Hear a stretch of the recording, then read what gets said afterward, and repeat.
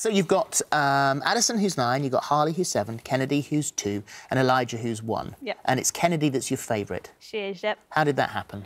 Um, I don't know. You know, I think obviously the other two were quite close together in age, and obviously then you don't really get that one-on-one time with them. When Kennedy came along, um, the other two were in school, so I got those whole six hours together. I breastfed her, which I hadn't been able to do like my other children, and I think because of that bond, it just she's just. But you said, but when you sat down a moment ago, uh, before we came back on telly, um, you said that Harley had been your favourite. Yeah, everyone would would admit Harley was my favourite. I mean, she was she was my gymnast. Addison was a really difficult baby. She had colic. She used to scream from two o'clock in the afternoon until two o'clock in the morning. She was really, really hard work. And I did find it really hard to bond with her.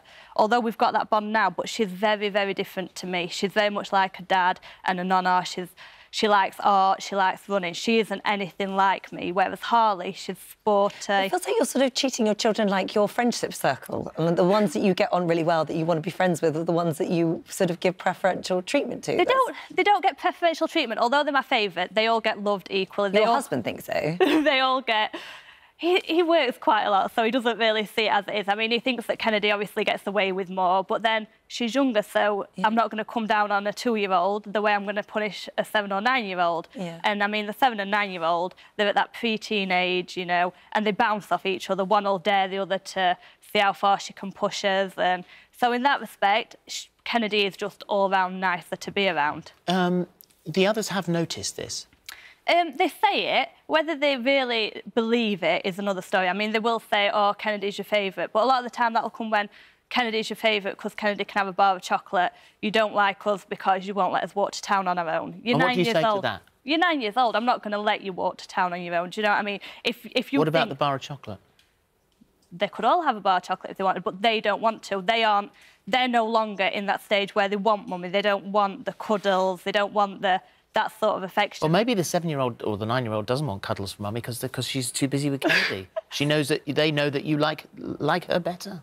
It's, she is my favourite, yeah, definitely. But you do, they, they've heard you say those words as well. Your seven yeah. and nine-year-old have heard you say those they words. They will say, she's your favourite, and I will admit to them, I'll say, yes, but do you I not do worry like about, because, I mean, for me, like, the alarm bells are in my head right now of actually what that will do eventually. I mean, it, you know, I know we're sort of giggling because it's sort of shocking and I think you react in that way, but actually, that going in your head as a child and living with that inside and then that growing and becoming bigger, do you not worry about the impact that's going to I have on them? I think I would, but I mean, we did sit down as a family before, like, I agreed to do this. I sat down before I even agreed to do the um, piece in the Express and I said to them, look, what do you think? And they're like, yes, you do spend more time with Kennedy. Yes, we think she's your favourite but we know that you love us just as much. We get this, we get that. I mean, Harley, up until very recently, she did gymnastics. You know, we were paying out what you'd pay on a small mortgage for her to do sport.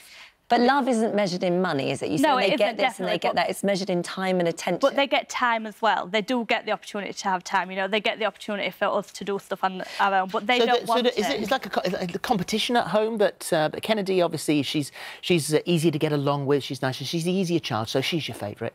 Uh, so uh, so if uh, if Harley or Addison, you know, maybe Im improved how you see the way they behave, the way they treat you, that maybe oh, you know, maybe you might be my favourite because you're behaving nicer. Well, no, because I've just got that different bond with Kennedy. Do you know what I mean? I have got such a bond with her. I'm not sure mm. if it's down to breastfeeding or... I, I met your uh, one-year-old, Elijah, earlier on. In fact, I had a, had a hold of Elijah, who's, yeah, uh, who's so adorable, smiley face, you say you cried for days when Elijah was born. You couldn't you couldn't even think of a name because I didn't he was have a boy. any boys' names. No. Yeah, had, no, had nothing. Had to no. leave it up to when you. we found out it was a boy, I was upset. Everyone was like, you know, obviously we'd got three girls. They were like, oh, I bet you're like dead hoping it's the boy. And I was like, no, deep down, I want another girl. How do you feel now about Elijah? Oh, I love him to pieces. He's a lovely baby, but again, his hard work is very. They are though one year old, aren't they?